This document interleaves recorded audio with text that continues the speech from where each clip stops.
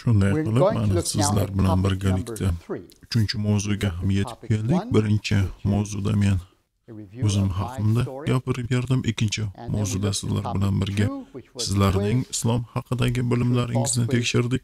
Mana endi uchinchi mavzu. islom ta'limotini shakllanishida arab yarim orolining ta'siri haqida gaplashamiz bu mavzuda men gap ochganimda bizning musulmon birodarlarimiz biroz o'zlarini noqulay his qilishadi. ularga islomga yoki islom ta'limotiga yoki qur'onga biron bir biron bir narsa ta'sir qilgani ularga yoqmaydi. Ularga nimadir islomni tashkil topishiga ta'sir qilgani yoqishmaydi yoqmaydi chunki ular ishonishadiki qur'oni karim that osmondagi asl qur'oni karimni nusxasining uh, nusxasi uh, osmonda bu esa o'sha osmondagi kitobning nusxasi qur'oni karim deb ishonishadi. Mana tasavvur qiling o'zingizga mana. Osmondagi kitob qur'on osmondan tushgan va u o'sha osmondagi kitobning nusxasi nusxasi. va bu yerda tanzil so'zi ishlatiladi. Musulmon birodarlarimiz xohlaydiki mana shu mana shu shaklda qur'oni karim like shakllangan yoki foyda bo'lgan deb aytishimni xohlashadi agar men yo'q uh, qur'onning shakllanishiga arab yarim uh, orolidagi use, um, hodisalar ta'sir qildi desam bularga birodarlarimizga musulmon birodarlarimizga bu um, yoqmaydi. um, shuning uchun men xuddi musulmonlar qanday ishonsa xuddi shunday sizlarga yetkazishga harakat qilaman. lekin albatta men men fikr qilaman, man o'ylaymanki, albatta Qur'oni Karimga o'sha arab yarim orolidagi hodisalar juda katta ta'sir qilgan. Lekin meni do'stim birga kitob yozgan birodarimiz Badr Katrega esa meni fikrlarimga qo'shilmaydi shunday qilib arab yarim orolining holati eng avvalo masihiy nasroniylar holati o'rni haqida gaplashamiz va u yerda qur'on va musulmon ummatining tashkil topishiga nasroniylarning ta'siri haqida ham to'xtalib o'tamiz. Shunday qilib, eng avvalo nasroniylarning masihiylarning masihiylarning ta'siri in, a- in haqida gapiramiz. context which was very Qur'oni Karim chuqur Christianity. nasroniylar masihiylar atrofida tashkil topgan Christian desak xato bo'lmaydi arab yarim orolining janubida joylashgan Yemen. shahri That region, uh, the Christmas Esimlarda bombers, biz attempted 2009 yil bombers, you know, they're- uh, amerika they're different samolyotini portlatmoqchi bo'lgan Uh, he yigit was- yemendan bo'lgan yemen qachonlardir bir masihiy uh, davlat bo'lgan. Indiyadan kelgan uh, missioner Theophilus xizmati asosida yemen shahri masihiy shaharga aylangan edi. Arab yarim orolining atrofida of juda ham ko'p uh, masihiy shohliklar bor edi efiopiya ham masihiy shohlik edi va masihiylik u yerga for some 300 years muhammad tug'ilishidan Muhammad 300 yil oldin kelgan edi va musulmonlar va efiopiyalik masihiylar o'rtasida juda ham yaxshi munosabatlar bor edi hattoki Uh, o'sha uh, musulmonlar ummasi community ummati kichik bo'lgan payti makkada ular quvg'in bo'lgan payti 300 of them efiopiya shohi uh, ularga yordam bergan va ularga uh, ularni himoya qilgan. Shu tarzda efiopiyalik masihiylar that masihiylar musulmonlarga yordam bergan va ularni himoya qilgan. yana bu yerda sudan Um, hozirgi sudan muhammad alayhissalom davrida yuz foiz masihiylardan iborat edi. hattoki misr davlati ham masihiy davlat edi three different yashayotgan. Uchta asosiy xalqlarning tillariga injil va tavrot tarjima qilingan edi va bu yerda eng birinchi o'quv markazlari barpo etilib bu yerdan boshqa joylarga xushxabarchilarni yuborishgan. missionaries haqida xushxabar aytishga boshqa odamlarni xushxabarchilar yuborilgan were bir markaz bo'lgan Clement işi yok adı ham ularning ishi ona tilida muqaddas kalom bo'lgan Palestin Palestinda oladigan bo'lsak, bu yerda ham masihiylar nisbatan ko'p bo'lgan va asosiy insonlar hayotiga masihiylar ta'sir o'tkazgan albatta bu yerda injil tarjimalari bilan birgalikda tirik jamoatlar bo'lgan bu yerda Siriya. Siriyani oladigan bo'lsak Siriya ham masihiy davlat bo'lgan endi keyin uni tepasida Iroqni oladigan bo'lsak Iroq ham their own language. You yuz go on around foiz here to masihiy davlatlardan yoki masihiy shohliklardan biri bo'lgan ular nafaqat masihiy balki juda ham e, juda kuchli xushxabarchilar bo'lgan. Ular, e, Aziyaga, e, Yevropaga o'zining kuchli xizmatkorlarini uh, yuborgan deep shunday qilib missionary sending- bu yer katta bir masihiy xizmatkorlarining markazi bo'lgan va masihiy xizmatkorlar yuboradigan markazlardan bittasi bo'lgan. Keyingi shahar bu iron. E, Ironda masihiylar kamchilikni tashkil qilishgan va ular ko'pincha quvg'inlarga uchrab turishgan. E, o'sha paytdagi And yetakchilari bularni quvg'in qilishib turgan va shunga qaramasdan u Iron mission. jamoati And, o'zining xizmatlari uh, bilan taniqli uh, Muhammad alayhissalom o'z xizmatini boshlaydigan davrlarda churches masihiylari o'zining xushxabarchilarini Xitoyga yuborgan shunday qilib bu yerda sizda bir narsani e'tibor qilishlaringizni xohlardim. Islom masihiylar nasroniylar qaynab turgan bir joyda paydo bo'ldi. U yerda misrliklar greklar siriyaliklar lotinlar efiopaliklar o'zini ona tilida injil va tavrotga ega bo'lgan paytda islom dunyoga keldi. Bu lekin muammoning bir tarafi o'sha paytlarda uh, Isoning to ummatini ichida jamoatlar ichida boshqa muammolar bor edi. Ko'p boshqa dindagilar masihiy dinga kirib ularda ko'p xudolikdan bir xudolikka kelardi endi tasavvur qiling qanday qilib ko'p xudolikdan kelgan yangi iymonlilarga iso masih to ota xudo va muqaddas ruh uch birlikda qanday tushuntirsa bo'ladi?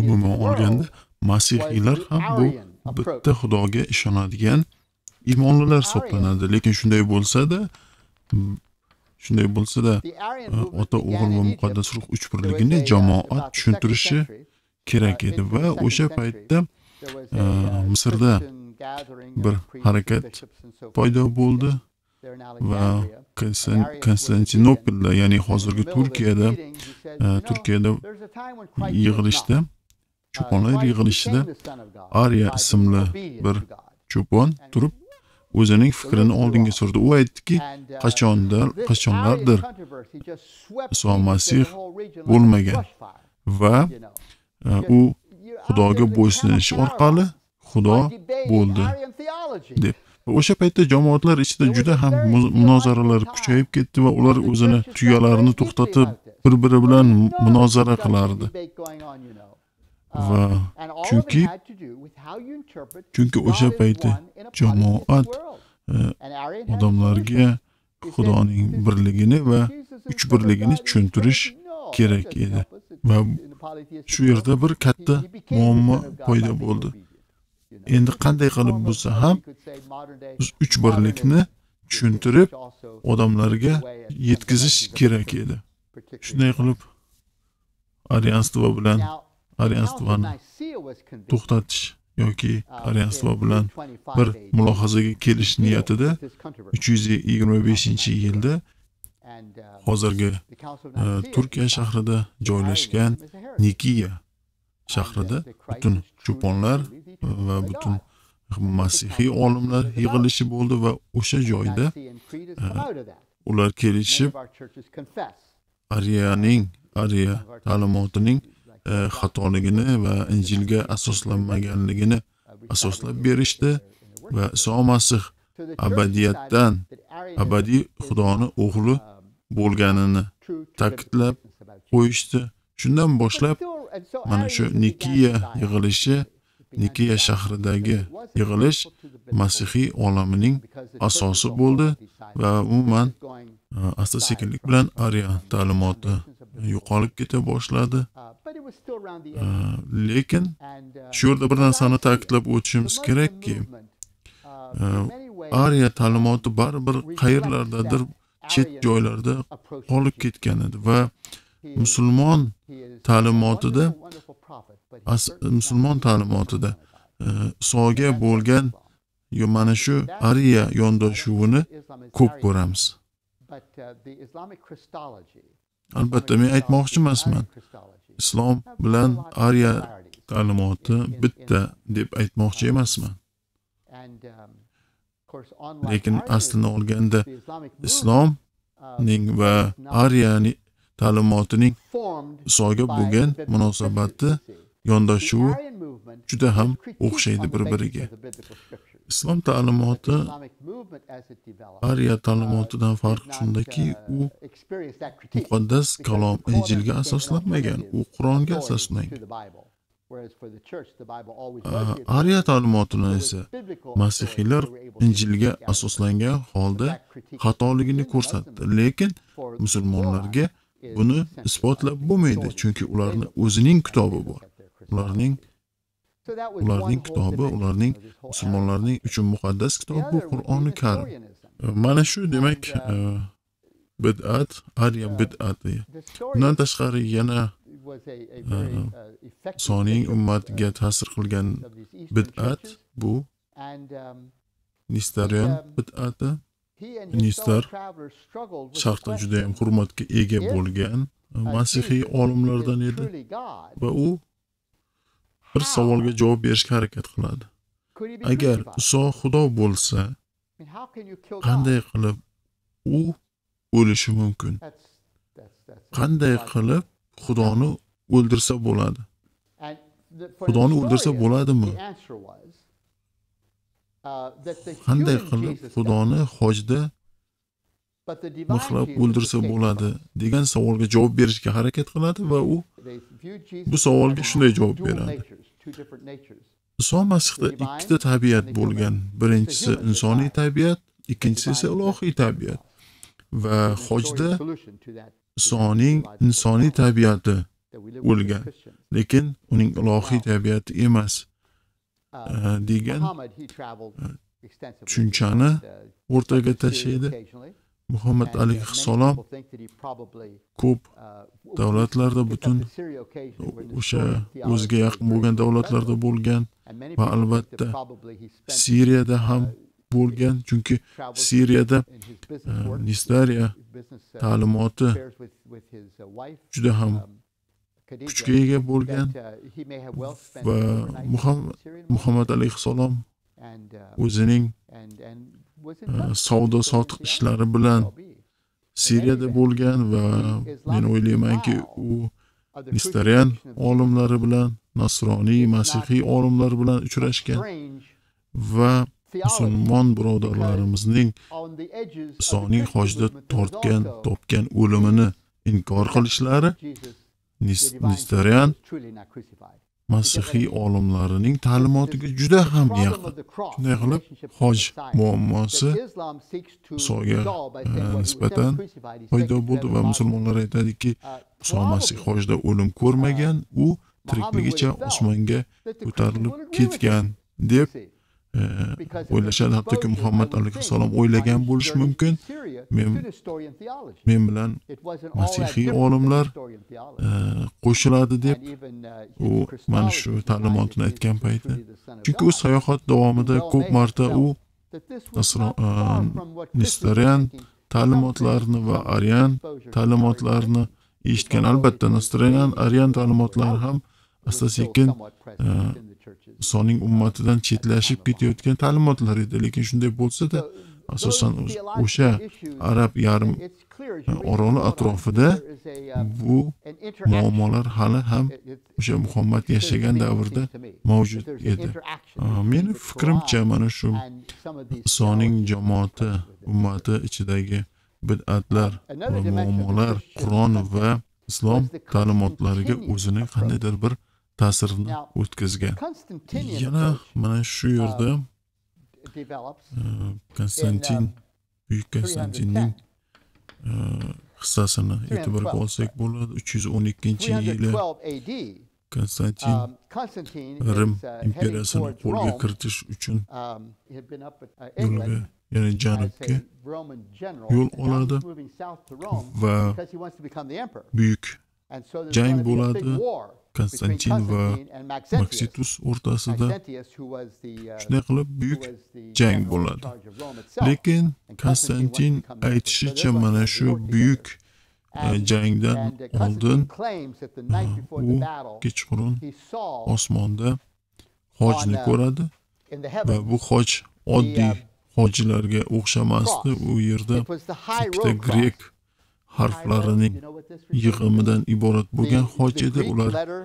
X va r harflari grek tilidagi iso masihning ismi xristos va o'sha grek tilidagi x er harflarining yig'ilgani hojni u ko'radi va bu hojni sizlar ko'p e, katolik va e, pravoslavniy jamoatlarida. Shuni ko'rasizlar va bu xosh tagida shu bilan sen yengasan degan bir vahiy oladi va u bu buyuk jangda g'alaba qozonadi va shu bilan birgalikda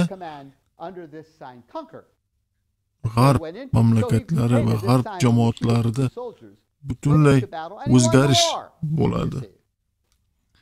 Va shu bilan birgalikda jamoatlar va davlatlar bitta bo'lib bir biriga bir biriga yelkama yelka bo'lib bir biriga yordam beradi va endi konstantin bilan birgalikda hattoki ruhoniylar ham urushga borardi va ularni marhamatlardi.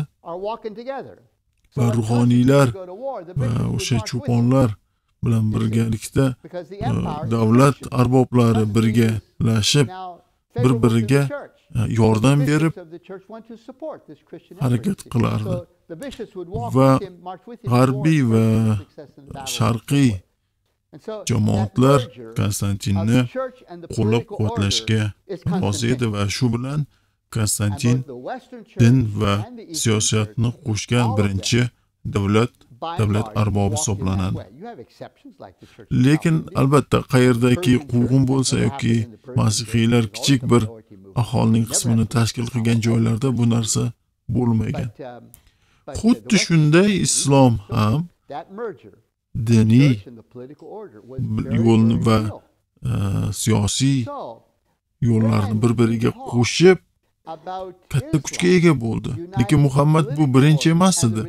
birinchi bo'lib buni konstantin qilgandi. u siyosiy va diniy yo'nalishlarni bir biriga qo'shib kuchli bir davlat tashkil qilgandi. xuddi shunday islomda dar islom degan tushuncha bor. bu demak davlat va dinni qo'shib bir katta e, imperiya qilish lekin Bu fikrlarni Muhammad alayhissalom Masihiy jamoatlardan va o'sha davrdagi masihiy davlatlardan ko'chirib olgan desak xato bo'lmaydi. Demak muhammad alayhissalom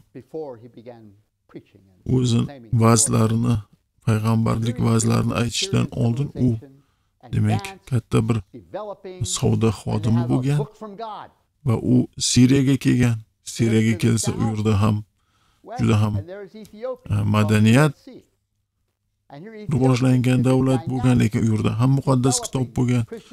U muhammad alayhissalom misrga kelgan misrda ham muqaddas kitob bo'lgan. Hattoki injil va tavrotlar uchta misrdagi uh, uchta tilga tarjima qilingan bo'lgan And they have the book of God. In fact, three of their dialects.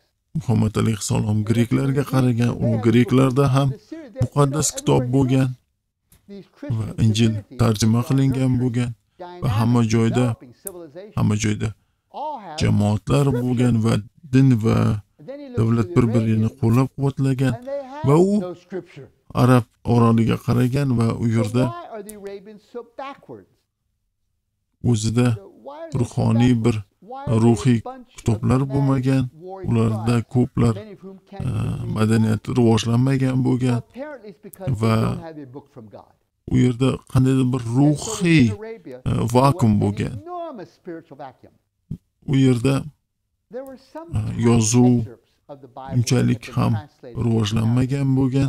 To'g'ri arab tilida muqaddas kitob injildan nimalardir tarjima qilingan bo'lgan lekin umuman olganda arab tilida injil bo'lmagan va arablar uchun xudoni tanishning faqatgina bir yo'li bu og'zaki arab tilidagi vas vas qilish edi va muhammad shu ishni qildi. Muhammad o'zi og'zaki xudo haqida insonlarni da'vat qildi.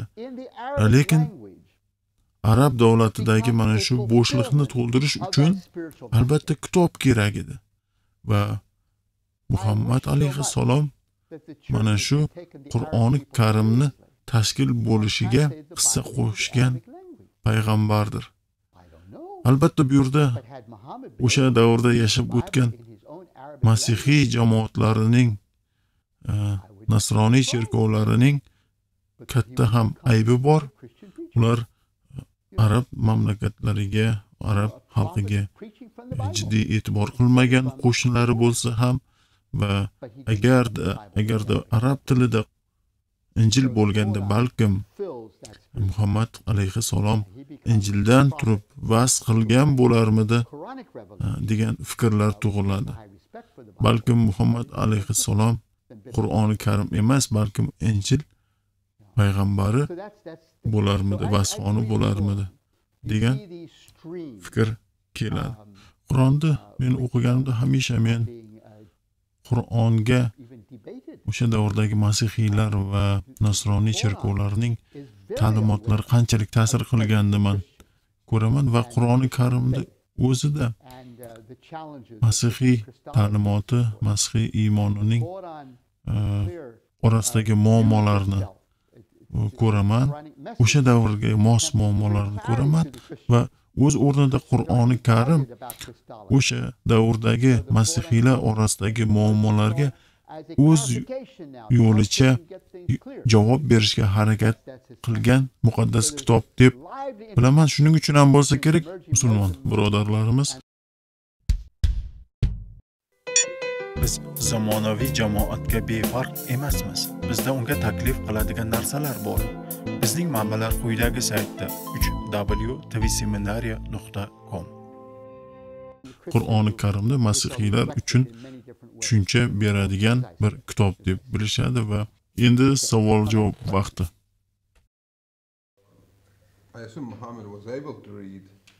Agar shunchalik e, muhammad alayhissalom atrofida ko'p tillarda injil bo'lgan bo'lsa nahotki unda imkoniyat bo'lmagan bo'lsa injil o'qishni?